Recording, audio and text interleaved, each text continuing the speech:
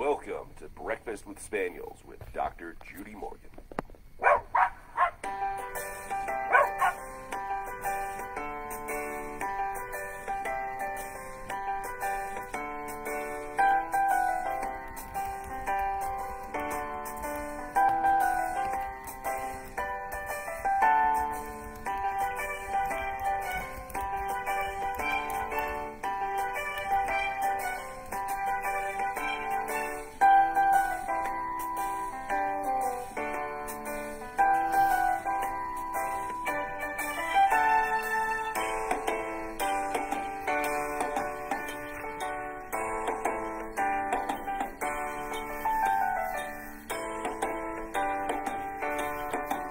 I'm freezing. I don't know about the rest of the world.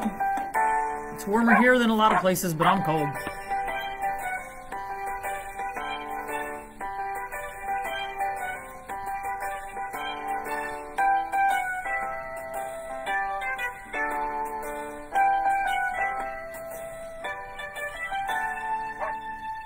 Remember, you can purchase all of Dr. Morgan's products at her website at www.drjudymorgan.com.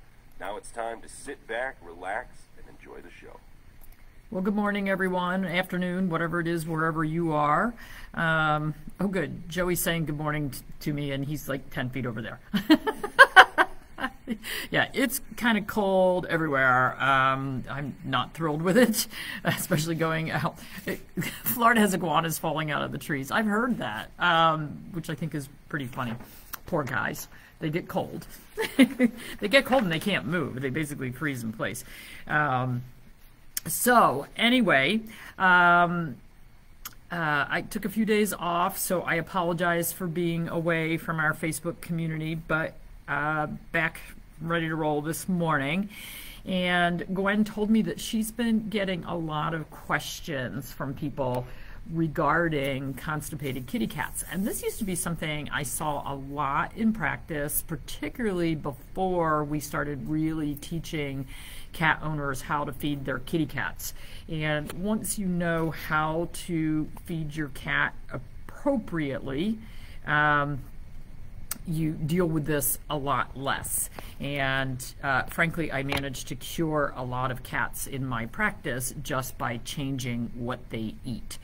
So, um, we look at this differently in traditional medicine than we do in Chinese medicine therapy. So, um, I'm gonna.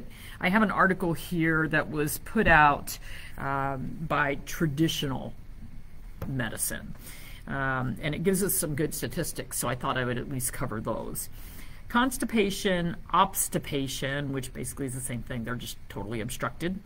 Uh, and megacolon, which is when the large intestine basically stretches out. So the the normal diameter of the kitty cat large intestine might be about like that, but some of these cats, it literally is this huge, stretched out, um, limp organ that's not working anymore. Uh, can be observed in cats of any age, sex, or breed. However, most cases are observed in middle aged with a mean of 5.8 years. Male cats 70% of the time, female 30% of the time. Domestic short hair 46% of the time, domestic long hair 15%, Siamese 12%. Um, and so then that leaves us 27, 46, yeah, another 35% that's kind of spread across the breeds. Affected cats are usually presented for reduced, absent, or painful defecation for a period ranging from days to weeks or months. Can you imagine going months? The, those are pet parents who are not paying attention, I can tell you that. Um, some cats are observed making multiple unproductive, unproductive attempts to defecate in the litter box, and with uh, cat owners, very commonly this is confused with urinary tract obstruction, where they're sitting in the litter box straining and not producing anything. So it, it's always an emergency when you see your cat straining in the box. It might be a urinary blockage, which can be deadly very quickly within 24 hours to 48 hours, uh, versus a uh, bowel obstruction. So, um, dry, hard feces can be observed inside or outside the litter box, but occasionally these cats actually are presented for diarrhea.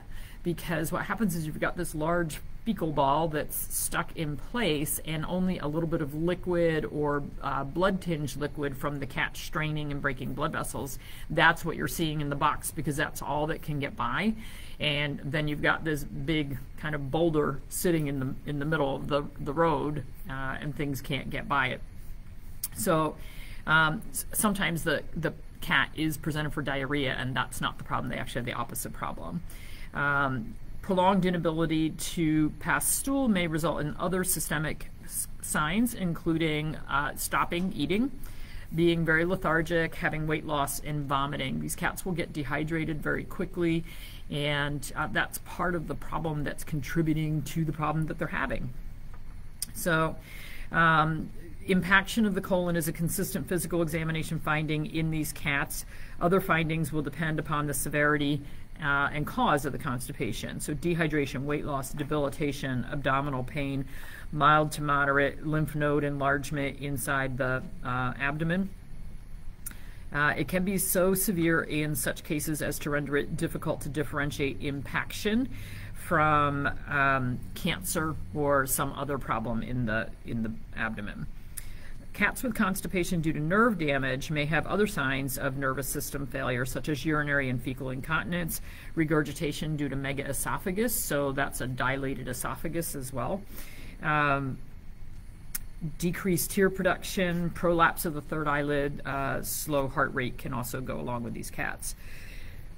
Uh, these cats do need to be sedated nine times out of ten. Uh, no, I'm going to say 99 out of 100 um, to relieve these impactions. They need to have fluids, and you have the the veterinarian needs to be very careful in doing this because it's so easy to get a rectal tear, which will be deadly for the kitty cat. Um, so, a recent review suggests that 96% of cases of obstipation are accounted for by um, megacolon, that dilated colon of unknown origin. So, we call it idiopathic, means we're idiots, we don't know what's going on so we don't know why it's being caused.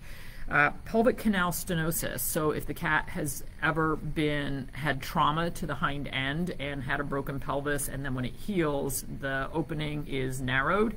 A lot of times that is a problem. So they start to get even just a slightly large fecal ball, and it can't pass, and then you've got a, a major obstruction.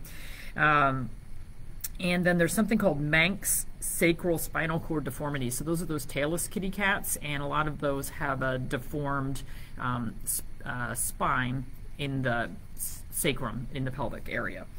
Um, so uh, this is very, very difficult to treat, and from a Chinese medicine standpoint, and this is was the turnaround for me in getting these cats um, to stop doing what they were doing. It's a blood and yin deficiency. So we've got nerves that aren't functioning as well, but basically what we have is a very, very dry large intestine. So if you take kitty cats and you put them on dry kibble, which is totally not what they should be eating, they're in a constant state of dehydration. So their stool becomes very hard and dry. And even though they're drinking a lot to try to make up for that lack of moisture in their diet, they never catch up.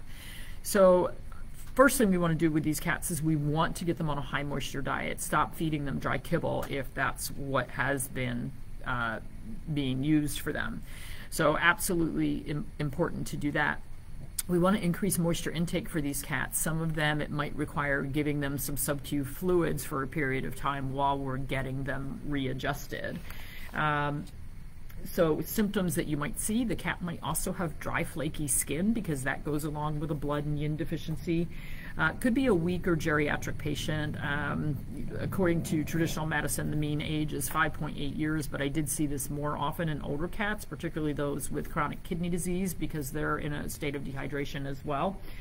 Uh, the tongue on these guys is going to, be, it could be pale or it could be red depending on whether they are more blood deficient or have more heat present in the body, and the tongue will be dry.